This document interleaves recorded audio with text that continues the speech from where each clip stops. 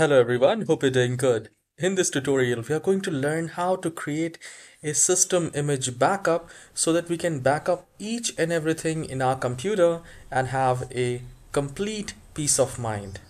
So if you have important things in your computer, I would always recommend to have a system image backup of all of your you know applications files windows just create image and save it to your hard drive or uh, pen drive flash drive or DVDs and I'll tell you the easiest way to do so.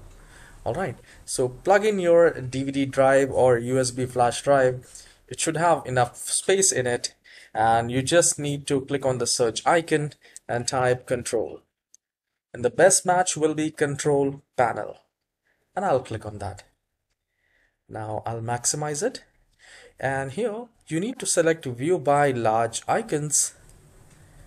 If it's selected categories like that then select by large icons. And then we are looking for option called file history. So I'll click on that. Now the moment you click on that you will find um, file history is off restore personal files select drive advanced settings uh, recovery and system image backup. So it has a shield icon I'll click on that. The moment you do that a new window will appear like this where we have backup or restore files. So we can backup from here as well as we will we can restore it from here. So I'll tell you both things.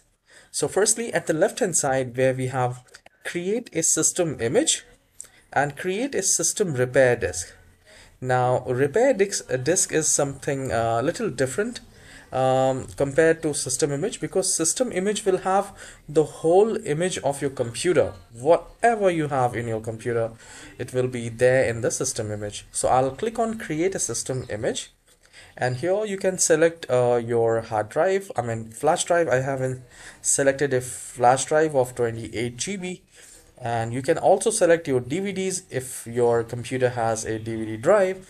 And then once you have selected we just need to click on next. It says the drive is not a valid backup location.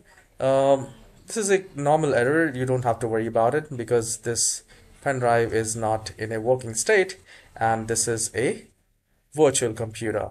So you just need to select that and you need to click on next and the backup will be started. It's pretty easy to do so. Now this thing might take some time. So I would recommend to do it in night time or whenever you have you are absolutely free for your um, I mean work then you can do that because this th these things might take some time like might take an hour or two hours depends on your processor and the hard drive speed. Alright so this is how you can create a system image backup and I hope you have enjoyed this very short tutorial. Please hit the like and subscribe and leave a comment if you have successfully done that. Alright I'll see you in the next tutorial. Have a wonderful day